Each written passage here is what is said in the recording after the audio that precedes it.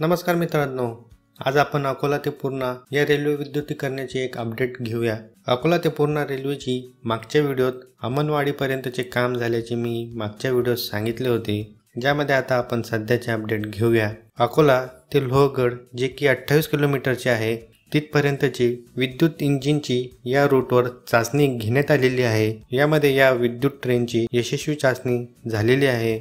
तसेच हिंगोलीच्या आधीचे स्टेशन नवलगावपर्यंतचे विद्युत पोल व तसेच इतर सेटअप उभारण्याकरिता लागणारा बेस तयार झालेला आहे. ज्यामध्ये वाशिम ते हिंगोली हा अठ्ठेचाळीस किलोमीटरचा दुसरा टप्पा असेल. यामध्ये आता काटा रोडपर्यंतचे इन्फ्रास्ट्रक्चर बरेचसे रेडी असून जवळपास वाशिमपर्यंत इलेक्ट्रिक पोल टाकण्यात आलेले आहे.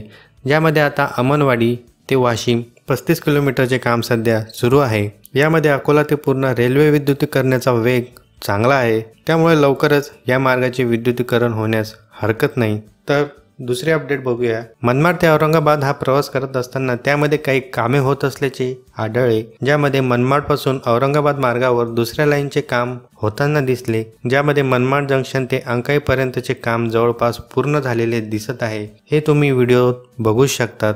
तसेच या ठिकाणी फायनल टचअप चालू आहे. नेमके दुहेरीकरणाचे काम चालू झालेले आहे. ते येत्या काही दिवसात कळेलच. पण यामध्ये नगरसोलमध्ये देखील बरीच दुहेरीकरणासाठी लागणारे साहित्य व सामग्री दिसलेली आहे. ज्यामुळे ही लाईन आता पुढे अकाळी ते नगरसोलपर्यंत जाईल असे वाटत आहे. पण या मार्गावर अजूनही विद्युतीकरणाचे कोणतेही साहित्य किंवा सेटअप मात्र दिसत नाही.